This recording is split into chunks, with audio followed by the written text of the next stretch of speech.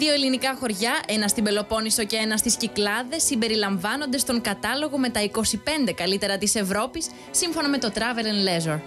Το ταξιδιωτικό περιοδικό τοποθέτησε τη χώρα της Φολεγάνδρου στην 10η θέση, τονίζοντας ότι η πρωτεύουσα του κυκλαδίτικου νησιού είναι μία από τις πιο καλοδιατηρημένες στο Αιγαίο. Το περιοδικό δίνει έμφαση στο παραδοσιακό στυλ, το οποίο διατηρούν τα περισσότερα ξενοδοχεία και εστιατόρια, αλλά και στο γεγονός ότι στη χώρα δεν κυκλοφορούν αυτοκίνητα και μοτοσυκλέτες, οπότε οι επισκέπτες μπορούν να απολαύσουν με ησυχία τη βόλτα τους, τον καφέ ή το φαγητό.